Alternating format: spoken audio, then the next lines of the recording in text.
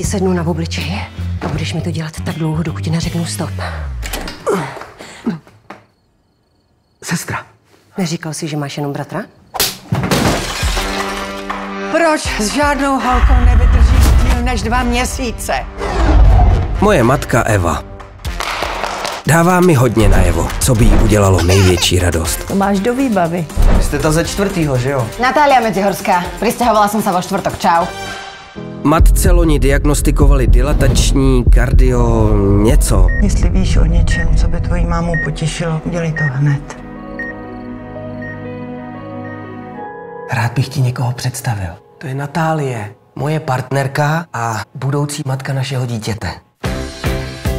Tady to máš. Dík. Matku pustili z nemocnice. Nesmíš se dozvědět, že nejsi moje holka. Tvoja mama je strašne zlatá, ja ju nechcem klamať. Ale to není lež, je to jenom paralelní pravda. Nepůjdeme radši někam na kafe? Kafe povolený nemám.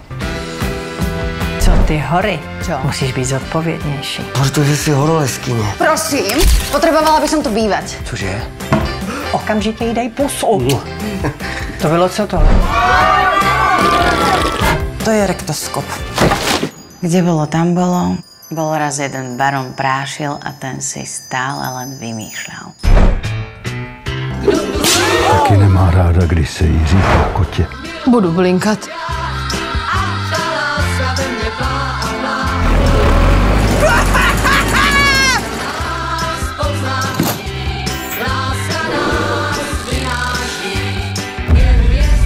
Kdy pak jste měli naposledy pohlavní styk?